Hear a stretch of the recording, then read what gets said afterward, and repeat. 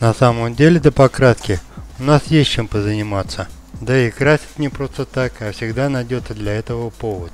В данном случае повод весомый. Как видим, краска ободрана. Да и ободрана не только краска, но и задран металл.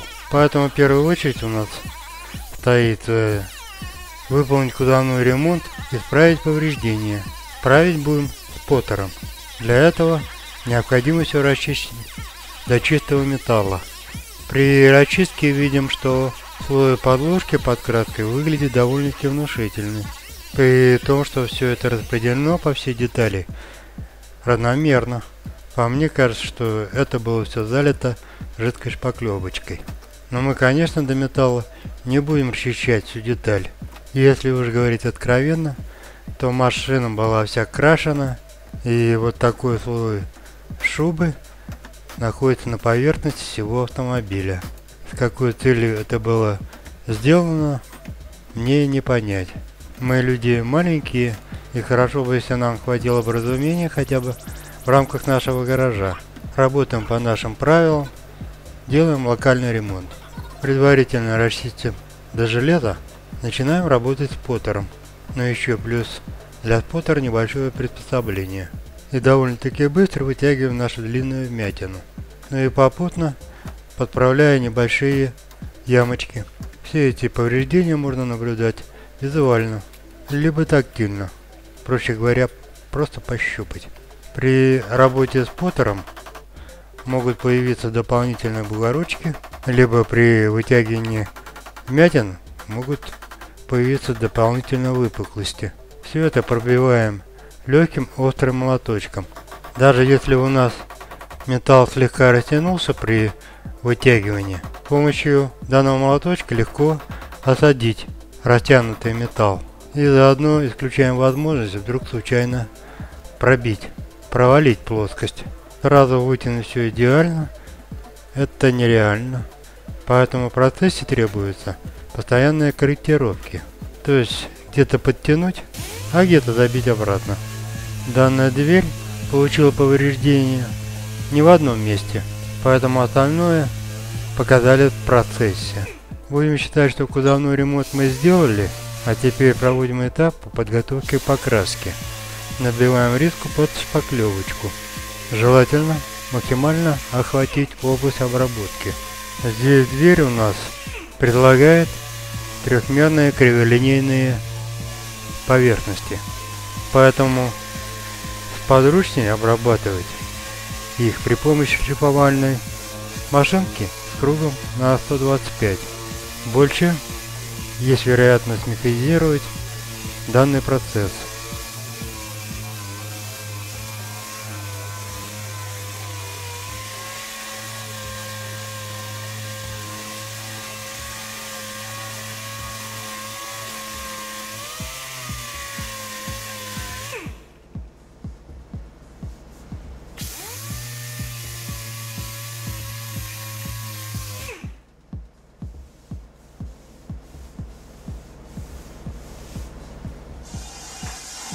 Что можно сказать? Какой-то слой шпаклевки вроде и небольшой, но все равно первый слой положил шпаклевку со стеклонаполнителем.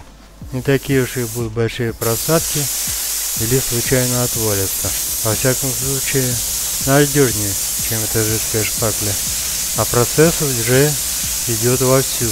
Первый слой шпаклевки мы не только зашлифовали и выровняли, но уже и наложили второй слой шпаклевочки, это универсальная. Хорошая такая шпаклевочка получилась, без пор, легко шкурится.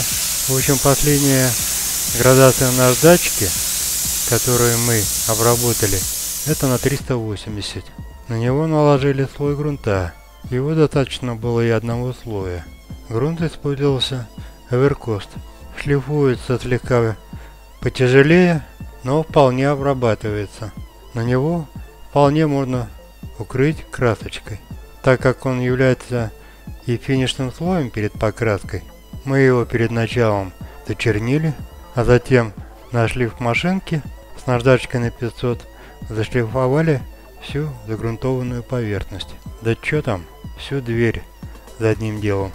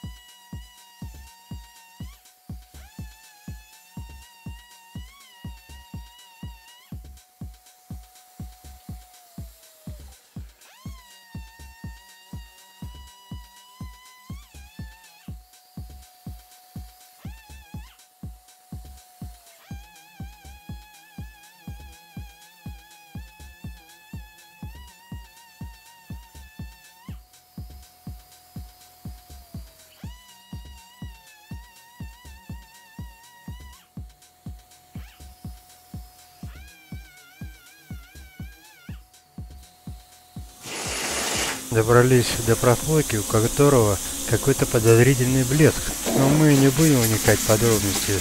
Замонтируем на всякий случай, чтобы не отвалилась на дальнейшем краска. Лучше поостережемся и побережемся. Зато будем в некотором спокойствии.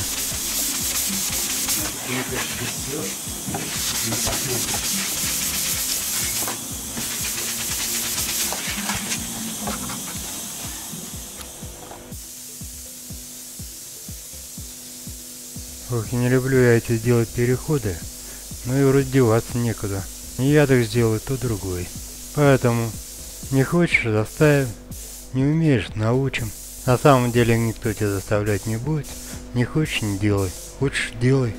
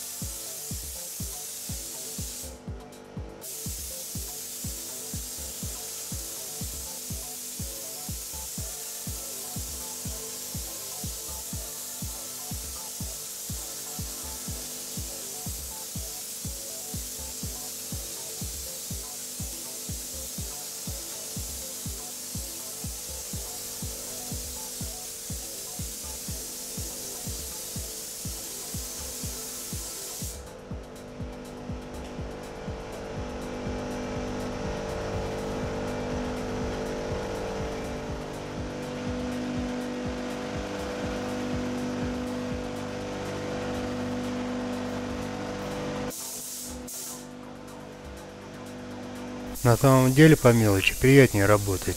Все разнообразие не успевает надоесть. Если вдруг будут дефекты, то придется исправлять только на одной детали. Вот такая политика нашего гаража. Но и отказаться от больших объемов тоже нельзя. Более вроде как и не тельно, но зато всегда при работе.